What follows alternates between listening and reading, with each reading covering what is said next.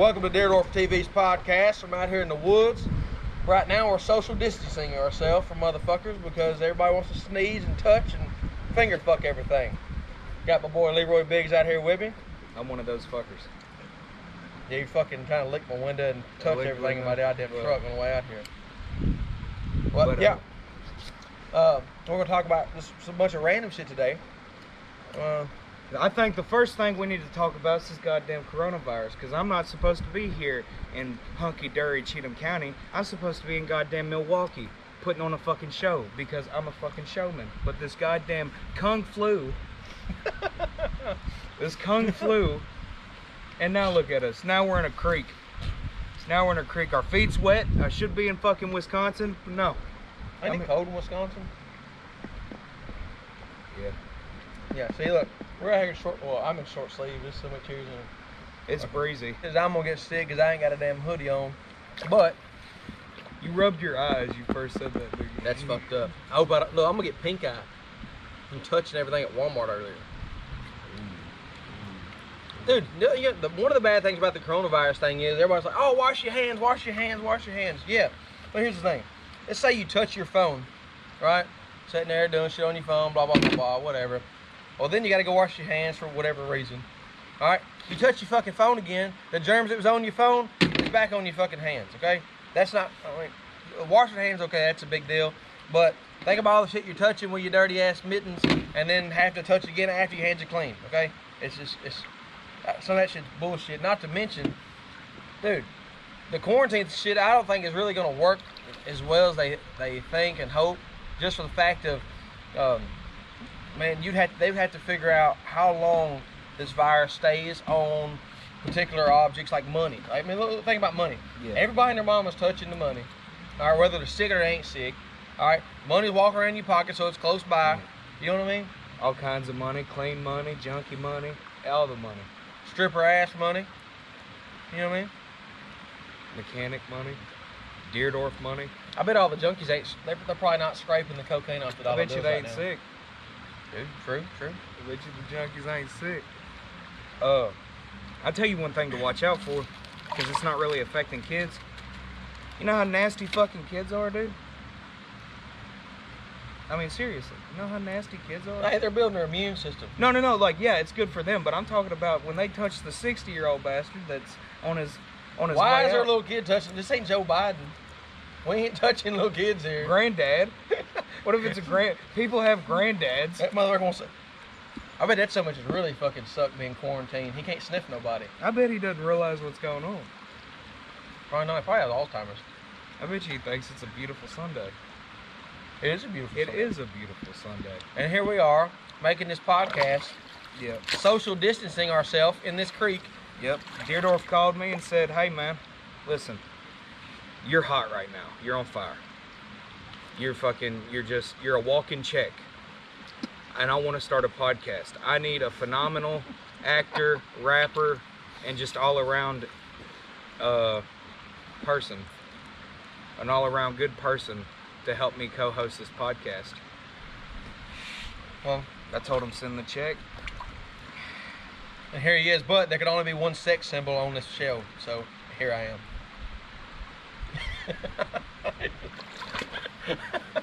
I got kids I ain't even met. You met your kid. Yeah, I was about to say you just had a kid. You, he's a pretty good dad. Never mind. I'm uh fuck. But I'm not sure what to do with my hands here. Shut the fuck up.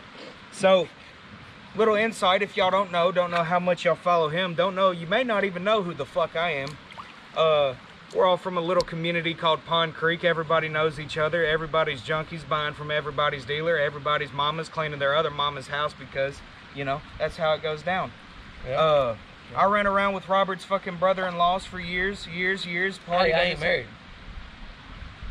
I ran around with Robert's Baby associates. Yeah. Baby I ran mama's around brother. baby mama brother, man. Yeah. But anyways, yeah, from the time I was about 14 to about 18, I developed alcoholism at Deardorff's house. Hey, speaking of that, I got me a cold one here. Got me some here. I was gonna bring I was gonna bring pot, but there's enough firearms in the uh, truck to uh, Yeah, I'm not driving. constitute a search. I ain't driving either. No, fuck that. I'm driving. I'm driving the boat. The boat. Yeah, when, when Dude, did you notice all the motherfuckers at the store this morning with boats filling up their goddamn boat? And y'all motherfuckers know something we don't. Y'all expecting a flood? What if they're fishing, bro? Have fish on tap. Filet sandwiches, bro. I've been fishing countless times and I didn't need a boat. I could just fish off the fucking bank. Maybe they want to enjoy themselves, douchebag. I'd love to have a boat right now. I don't. You, I had one. You could have got it. No, instead we got a fold-out chair and tables, and we're here. Huh? Look good. We should do a podcast on a boat. Buy me a boat and I'll do a podcast. You just boat. said you had a boat. we cut it up last week. Oh yeah, go watch the video. Yeah. Yep. Uh, It's up right now. And depends on how long my fucking video guy right here takes to edit it and post this one. We not we might be over the coronavirus epidemic by the time this posts. We'll see. But if not, if you do get this information in time, um, you know what we're talking about. You got any uh, tips on staying at home? What you supposed to be doing? yeah. What you Stay gonna the be doing? fuck home, smoking pot. You gonna write no music?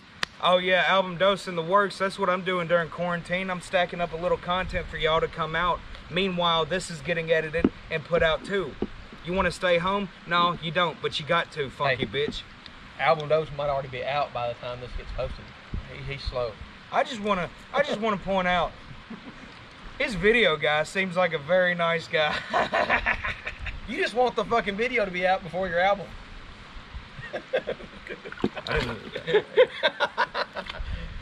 Please. Leroy Biggs, lost for words. Yeah. I have done it. This day is a fucking success. He called me on my bullshit, man. So, I'm not much for fucking hoax, but let me tell you what I think about this shitty ass coronavirus.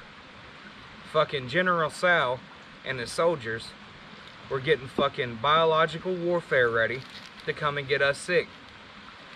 It broke out in China.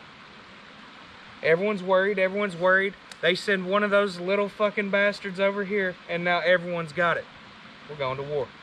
They send one of them. No, that's not how it happened. We're going to That's not- war. Hey, one, here's another thing too, though. You notice? Did you notice when? All right, so the coronavirus all broke out in fucking China or whatever, and they were everybody, the whole world was watching them and see all of their measures, what the fuck they're taking. Did you see all them cool ass trucks spraying all the alcohol water? Did you see that? They had semi trucks with big tanks on the back of a fan spraying Oh, yeah, yeah, al- okay. water with alcohol in all in there. How is it that China has all the cool shit? We don't have no fucking trucks spraying no alcohol water in the air. Just China. They always be doing some over the top stuff. I think one or two motherfuckers in there might have an idea, and then everybody else just agrees. Why the hell? They are a communist country, so I mean, that's, that's generally how it happens, isn't it? Why are they all short? They eat rice, motherfucker. Rice is short. Yeah, me. No. What? What's that? yeah. yeah, me. Oh, that one. Oh, that's something that's grew up next to a nuclear factory or something. Next to a goddamn power plant. Grew up in Harlem. But yeah, Uh, I think it's a, I think it's an act of war, and I think we should go over there with one of our nice, nice nuclear bombs, and show and become two and O, two, two and O. Yeah, but I want one of those trucks with the fucking water fan on it before we blow them up. You probably build one at your house. You probably have the body for it. I read the things too. It said that the uh, was it Korea, one of the Korea McDonald's, all their fucking trucks have been running off of uh, the grease from the McDonald's fries since 2007.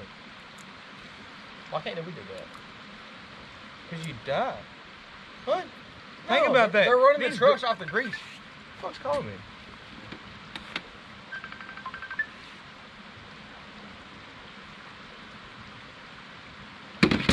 Well.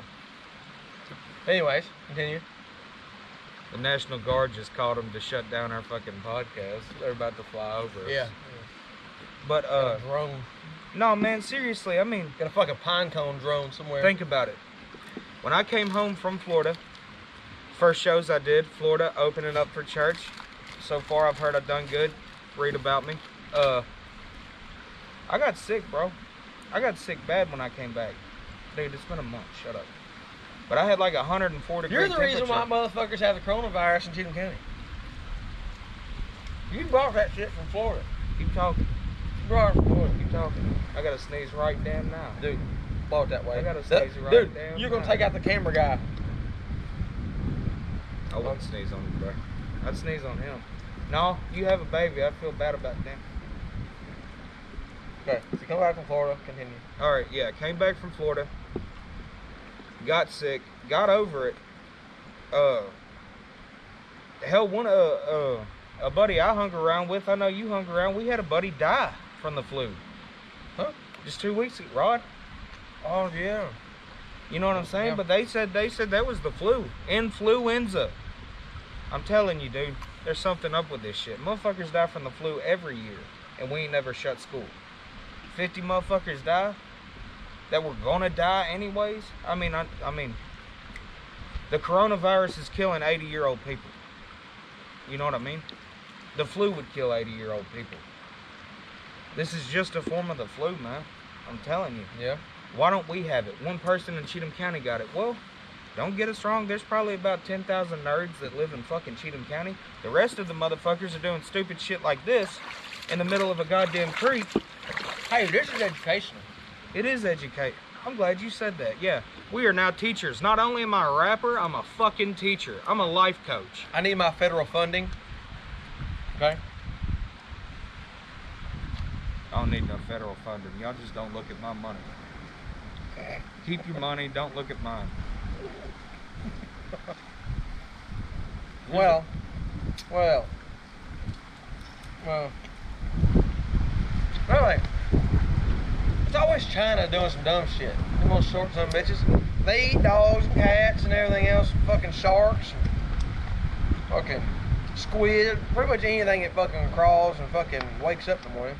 I wonder why they eat dog and cat, man. For real. Easy, easy to get. Hell, they're just walking around. I ain't got to hunt for They them. don't have pets? I don't know. You know any Chinese people?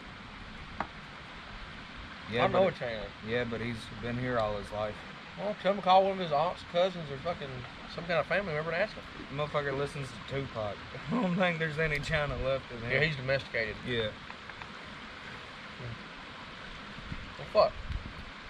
We're going to have to, hey, if there's any China people, well, no, because them motherfuckers, if they're from China, they probably can't understand what They the know what they did.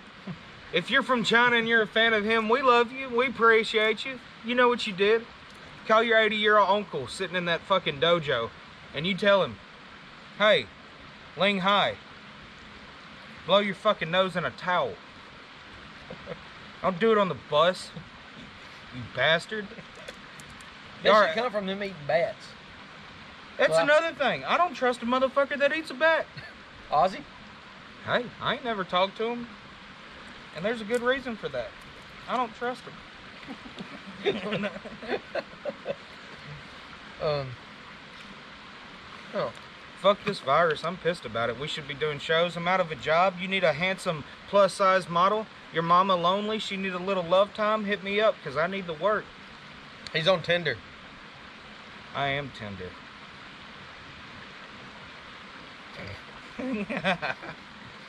Let's talk about your fucking truck. I want to talk about this. What that?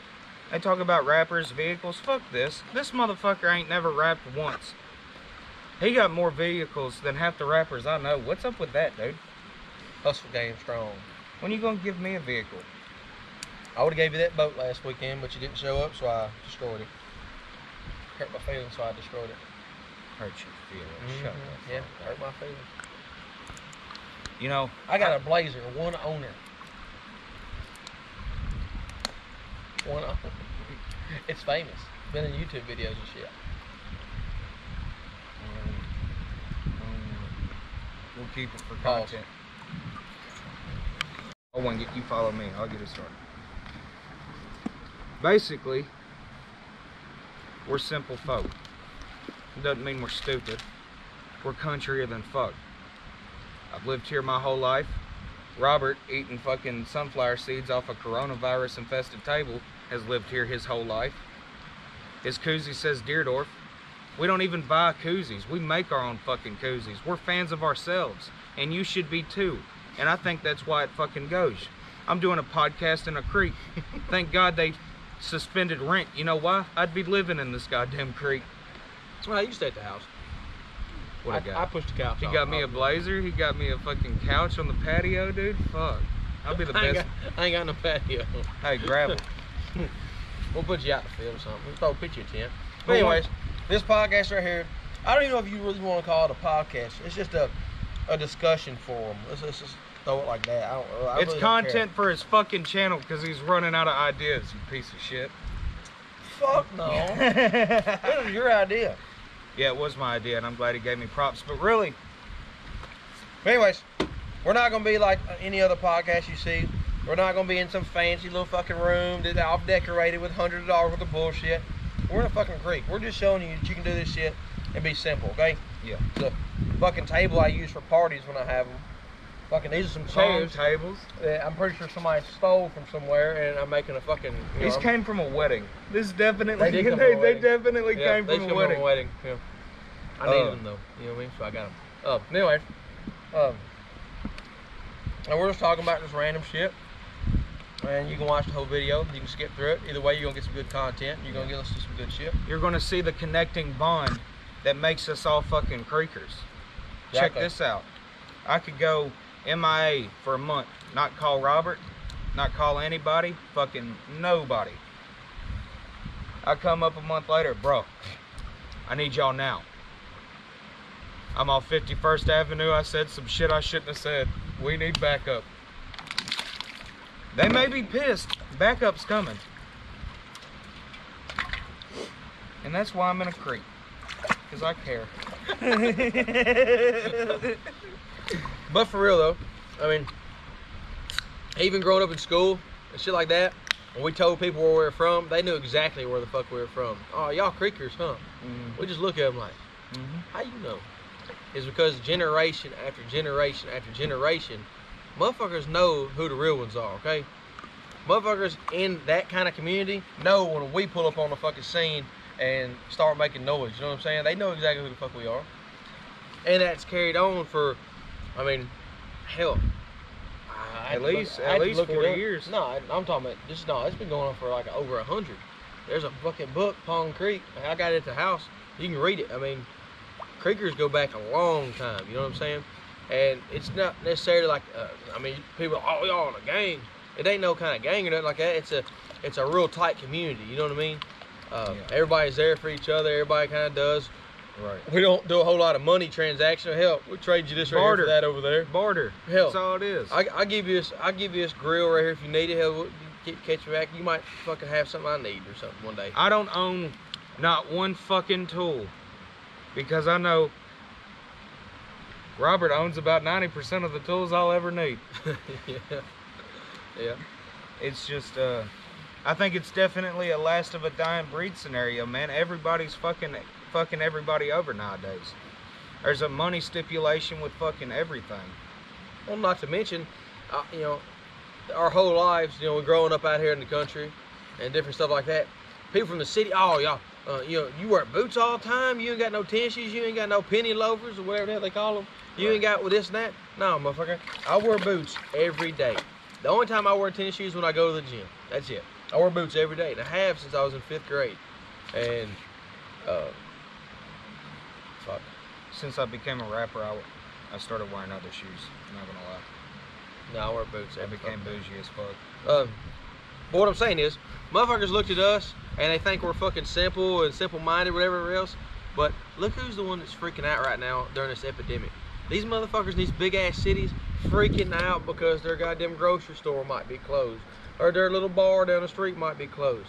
Motherfucker, we got chickens. We got goats in the yard. You know what I mean? Hell, we'll fucking go down here and fish and hunt and do whatever we need to do. Not to mention grow some shit out in the yard and make our own fucking liquor. You know what I mean? We ain't gotta have none of that shit. We can live off the grid and be perfectly fine. You know what I mean? So now who's simple minded? I will say I've had their liquor. You may go blind. It will get you fucked up. You may go blind. So anyway, being that uh, this is Deardorff TV, and uh, I don't, like I said, I don't know if it's gonna be podcast number one or what the title's gonna be or anything like that. either way it goes, this is my guest right here. This is Leroy Biggs. And uh, we're going to ask you some questions right here. We're going to get to know Leroy because, once again, y'all see the crazy shit that I do. And most of y'all follow me on Instagram. And I don't know if y'all follow this dude here. So, y'all to have to learn from him right here. You'll have to learn. All right, so what made you want to be a rapper, man? I was good at it. From what age? Uh, I sort of stumbled upon on it probably when I was 12, 13. I went to school at uh, Harpeth Middle School. Uh, they have the football field for the high school. Everyone goes there for Friday night football when it's in season, and uh, all these other little country bastards were rappers. That's what they said. They were rappers. Well, they sucked. I didn't know how to rap, but I knew they fucking sucked. So that next uh, that next football game, I went and uh, I started and I battle rapped our buddy Greer. Yeah. That's the first time I ever rapped. I rap battled Greer. And that motherfucker got hype as fuck. He got hype as fuck. He like, I mean, cause there's no like, it just started. It just started with a fucking freestyle. Never wrote anything, never even thought about doing it. Fucking country ass kid, never even thought about being a fucking rapper. It started at a fucking high school football game. So you just fucking, yeah, you'd never done it before, but you listen to them and you was like, yeah, they suck. I could do way better than that. And they're supposed to be the ones that are good at, at this One school. hundred percent. So you're like, fuck, I'm gonna have to show them. I mean, yeah. One hundred percent, man. I remember. So I only went to maybe like two or three football games the whole time I was in high school because I didn't really do all that shit. I wasn't in that little clique. I didn't. I didn't really talk to a whole lot of people. But I remember one time I did go. Me and Ryan both went, and I remember you over there rapping. There was like a big group of people, and you was over there rapping. hmm It could have been that time. It could have been a different time. But I remember going to one football game, and you was like in a group of people, and you was over there rapping. So uh, that specific time, that was when I actually started thinking about pushing it. So what happened there was uh, we got clicks. We're fucking creekers, okay? Well, we were the edge of our school district. We had to go across to fucking Kingston Springs for school at Harpeth. Well, there's another group of fucking, you know, fucking kids that uh, were rappers. And he came up to me wanting to rap battle. So he rap battled first. It was cool. There's probably about 30 people there. And uh, he was wearing a Nike shirt. I remember this because it was fucking cool as fuck. He was wearing a Nike shirt and then a starter zip up jacket. and I said he looked like the Fresh Prince of Welfare. Well, a cop that was at the fucking football game came and started listening to it. Well, a group of 10, 15 kids and a cop's around, that made more people. They thought it was a fight or something. By the time what he was talking about, this is no exaggeration, there is video somewhere too. I had double the amount of crowd on this fucking track around this football field watching this rap battle than was watching the fucking football game. Our high school team sucked. No one came there to fucking watch the football team. They came there to get drunk and buy pot. And that's just that's at least why I went there. And uh yeah, that's the night you were talking about. I made uh I made like hundred and fifty dollars because it got to the point I'd keep rapping and motherfuckers would throw money in the middle of the fucking uh track or whatever. And by the time I got done, uh He was a rapper and a stripper. was it? Was it just dollar bills? uh there was a twenty. It was like a hundred it was like a hundred one dollar bills and then I had like a twenty and a couple fives. You had motherfuckers. You was rapping so good, you had motherfuckers throwing their lunch money. Legit. That's legit. Legit. Well, uh, when did your first album? Uh, my first album dropped last year, like August of last year. What was the title? Album number one. Really? Hell Oh, yeah. hell yeah. Hell yeah. We keep it simple. I heard a lot of people, you know, oh, when you make an album, you want it to all flow together and you want to have a theme or something like that. First album ever did, no music on YouTube, no music at all anywhere. It was called Album Number One. Was number 39 in all music on uh, iTunes, and it uh, it capped at number five in the rap genre. And there wasn't no theme to that motherfucker. And to give you a little insight, the album I'm working on now is called Album Dose. Dose meaning two, in Spanish. Why the hell did you want to throw a Spanish number in there? Because I already did album number one. So I figured I'd do album dos. And the third one will probably be in German or something. I don't know. Yeah. French.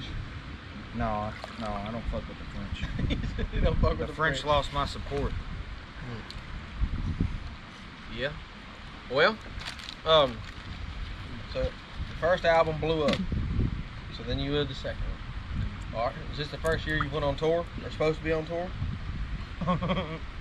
Because the fucking coronavirus fucked up my tour. yeah, but uh, so this uh, we're March. It's March right now. Don't know if that fucks up when the video comes out or what, but uh, We'll see how long. Yeah, pressure's on you, guy. so uh, I started working on the album.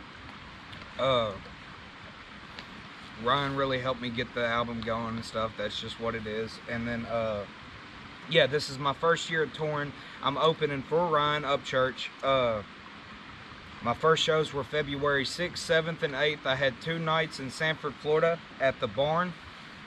Amazing place. Met the venue owners. They love my dumbass for whatever reason. I don't know. And then uh, the third night was in Fort Myers, Florida, way down south with all my Cuban buddies at the ranch. And uh, man, I had a blast. People had a blast. I I ended up getting sick from it. I probably shook fucking 5,000 hands in the fucking weekend. Uh, signed probably 20, 30 titties. Fucking five, 600 shirts, you know, just as much as I could. Had a blast. Threw out my voice. Had fucking. My throat was closing. People said I had laryngitis. All this kind of happy horse bullshit. And uh, it went good, man. You That's went what- all out, it sounds like. Hell yeah, I went all out. That's what we do on the motherfucking creek. But just to throw us out there, I know he said that Ryan has helped about a bunch. Every starter rapper, really, even big rappers, they have another big name behind them that helps support them and lead them in the right direction. Right. I mean, wouldn't you agree? Oh, 100%. I would say the only thing different, because it's exactly what it is 100%. Uh, the only thing different is hell. He didn't, you know, it wasn't something like, oh, he had to get in contact with me, or he had to get in con. You know what I mean? Yeah. Like, you knew how to get in contact with me. He knew how to get in contact with me. I ran with his brother, so it's just like, you know, It goes back to the thing. exactly. If- Everybody, everybody looks out for one another. Hell, Ryan's already big, and I guess you see, you know, seeing you're coming up. Hell, why not help you out and, and lead you in the right direction and speed the speed of the process in that, as far as the insight. You know what I mean? So you're not Yeah. rambling around in the dark. Yeah. Um, I, Well, know, that- I, I would say that nothing is given, everything is earned. Well, You that know and I'm I will say, you know, coming up, hell, we grew up on old country music, all that, all that, and uh, but we grew up on a lot of fucking Nashville rap and Southern rap in general. Uh, and I will say that has helped because uh, a lot of the people, you know, you may look up to as far as whether you just like their shit or you really like them as a person, they aren't who they they aren't who they say they are. You know what I mean? I've met I've met people that at one point in my life when I was 15, 16 years old, fucking off in high school doing what I did, uh, I looked up to. And I can honestly say now, like, you know, I was, I was, uh, it was all false. There was no reason to look up to these people. Everybody has their problems. And the people we fucking idolize and shit, man, they got the worst goddamn problems. Oh yeah, there's a couple, couple people. I'm not gonna say their name. That I listened to their music in high school and stuff like that, and I got the chance to meet them in real life. And straight douchebags, man, straight douchebags. Well, there's a lot of people that I have met that are like real deal. Like hell, Struggle Jennings, he's real deal. You know what I mean? Yeah. What you see is what you get. You know what I mean? He ain't no fucking false advertisement there. Oh yeah. He's just still same crazy West Nashville bastard he was fucking in 03. Already man. helped. Um, I listen to Jelly Roll's music a bunch. Um, I haven't met him in person yet. You know what I mean? So, but I mean, he has hit me up through Instagram and shit like that, talking and bullshit. And so, I mean, he seems like what he advertises is what you get. You know what I'm saying? Right. Um, One, I think the biggest divide is because you know the two, you know, those two, Jelly and Struggle, they grew up like us in the sense of you know we never came into money. There was never an abundance of shit like that. You know what I mean? Fucking, my childhood was You know, if the fucking if the satellite was on and fucking dish was on, okay, that's cool. But that was fucking five percent of the time we spent. You know, fuck, we grew up based off our imaginations. Oh Like- yeah. You oh yeah. Yeah, you ain't fucking. You ain't staying in the house. You gotta go outside. You gotta Hell do some yeah. shit outside. Kids, Like- you know, fucking Everybody and their mama always wants to come up with the we ain't never had shit and then we got it. But this is one of them real life situations. You know what I mean? right, right. Like this is a true real life situation. Hell, I never had shit. Fucking had to build my own truck for my first truck. Um, hell, been living on my own since I was 18 years old. Blah blah blah. Not gonna get into that spill, but I would say that when when you have a come up like that, and you come up from nothing, you appreciate stuff greater and you Right. strive harder to to make it happen. You know what I mean? One hundred percent, and you know, not just that, but like coming from a, a a poor, you know, a poor country setting, uh, a lot of our role models were fuck ups, and the reason they were our role models is because They're we real. saw their fuck ups. and they're real. We had to go off of their fuck ups. You know what I mean? Fuck, I would, uh, fuck, I got I got plenty of family I can't talk to because they're fucked off on drugs or whatever they're doing. You know, I spent a lot of times with alcoholics. Uh, just that's who we were raised by, man. We, we really had a, a study guide for life of knowing the wrong and you know the rights.